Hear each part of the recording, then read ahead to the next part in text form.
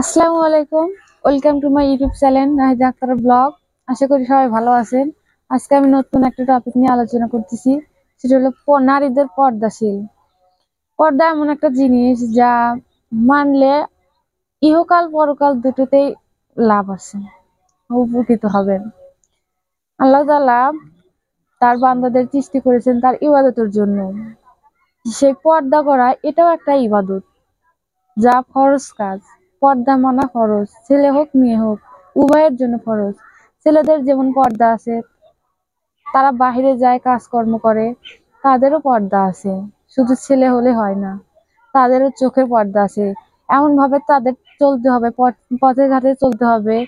আমাদের হজরত মোহাম্মদ সাল্লাহ সাল্লামও ছেলে ছিলেন, কিন্তু তাই এমন ভাবে চলতো, তারও চোখের পর্দা করতো।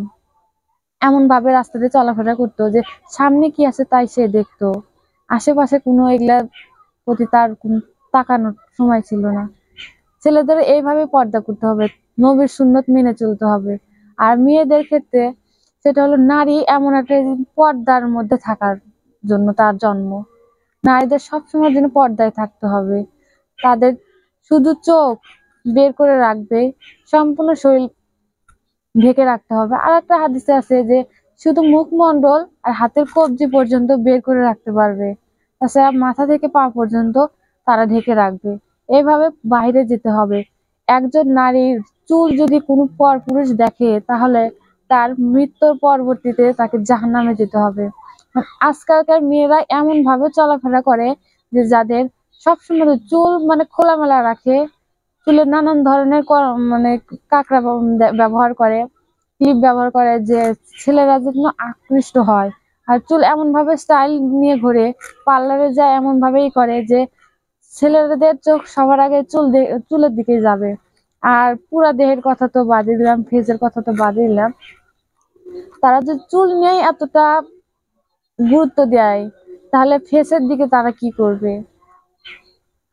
সবচেয়ে বেশি খারাপ লাগে যে ওই নারীদের ক্ষেত্রে যারা বেপর্দা ভাবে চলাফেরা করে ছেলেদের আকৃষ্ট করে, ছেলেরা নানান ধরনের কটূক্তি কথা বলে।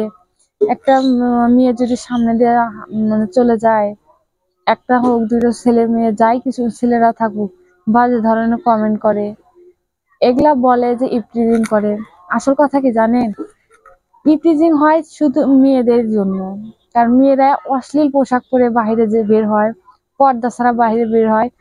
সেই জন্য ছেলেরা মেয়েদের দেখে আকৃষ্ট হয়, যার কারণে ইপ্রিজিং এ পরিণত হয়। যদি নারীরা পর্দা নিয়ে বাহিরে চলাফেরা করতো, তাহলে ইপ্রিজিং হতো না। একটা বোরকা পরা মেয়ে, পর্দাশীল নারী যখন সামনে দিয়ে যাবে তার দিকে ফিরেও তাকাবে না। বলবে, না, এ মানে ভালো কোয়ালিটির মেয়ে। এর দিকে এইভাবে তাকানো যাবে না বা বাজে কোনো কমেন্ট করা যাবে না।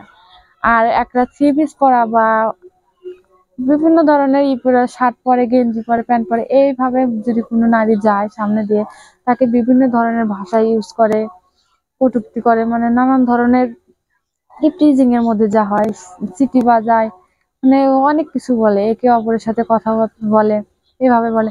তখন তারা বলে যে হ্যাঁ, আমি অমুক জায়গাতে গেছিলাম আমার ছেলেরা আমাকে দেখে ইপটিজিং করছে। আসল কথা কি? একটা মানে পর্দাশীল নারী যখন গেল, তখন তো ওই বাজে বকাটে ছেলেরা ইপটিজিং করল না। তোমার ক্ষেত্রে কি জন্য করল? এই প্রতিবাদটা যদি তার মুরব্বীরা বলে যে, না, বাবা, মা, তুমি এইভাবে চলাফেরা করো না বা এইভাবেই পোশাক, শালীনতা নিয়ে পোশাক পরিধান করো, তাহলে কিন্তু এই সমস্যাটা হতো না। আসল কথা জানেন? সর্বমোট কথা যে, তার পরিবার থেকে যে এরকম স- মানে আচার ব্যবহার শেখে বাচ্চা কাচ্চারা সেরকমই করে। তার পরিবার যদি বলতো যে, না, মা, কে আম্মু, তোমার এইভাবে চলাফেরা করা যাবে না। তোমাকে পর্দা নিয়ে চলতে হবে। তারাও যদি পর্দা নিজে পালন করতো, তার সন্তানদেরও যদি পর্দা নিয়ে নসিহত করতো, বলতো, তাহলে তার সন্তানরাও শুনতো। আসল কথা যে, তার পরিবারও পর্দা মানে না, তার সন্তানদেরও পর্দা মানতে দেয় না।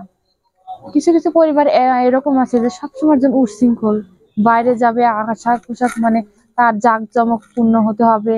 মানে চাকচিক্য হতে হবে। এরকম যে পরিবারই হোক না কেন, সেই পরিবারেরও কৈফিয়ত দিতে হবে মৃত্যুর পরবর্তীতে। যে নারী ওইভাবে অশ্লীল পোশাক নিয়ে বাইরে ঘোরাফেরা করে, পর্দা করে না, তাকেও জাহান্নামের আগুনে দগ্ধ হতে হবে। আর যারা চুল বের করে রাখবে, তাদের ঝুলন্ত অবস্থায় চুলের উপরে ভর দিয়ে তাদের আগুনে পুড়তে হবে। এইভাবেই পর্দা এমন একটা জিনিস যা নারীদের সম্মানিত করে। সম্মানের জায়গায় রাখে। আর সেই পর্দা নিয়েই নারীরা আজ পথে ঘাটে কত মানে প্রতিবাদ জানায় আমরা বোরকা পরবো না আমরা পর্দা করব না আমরা হিজাব লাগাবো না। কত রকমের স্লোগান করে। কেন? তুমি নারী তুমিও পর্দার ভূষণ তোমাকে সবসময় পর্দা নিয়ে চলতে হবে। তুমি পর্দা বাদ দিয়ে তুমি শৃঙ্খল ভাবে আহ, খোলামেলা পোশাক নিয়ে বাইরে বের হবে। আর বকাতে ছেলেপেলেরা যুবকেরা তোমাকে দেখে হাসি, এই করবে না, ইপিজিম করবে না এটা কি তুমি মানতে চাও?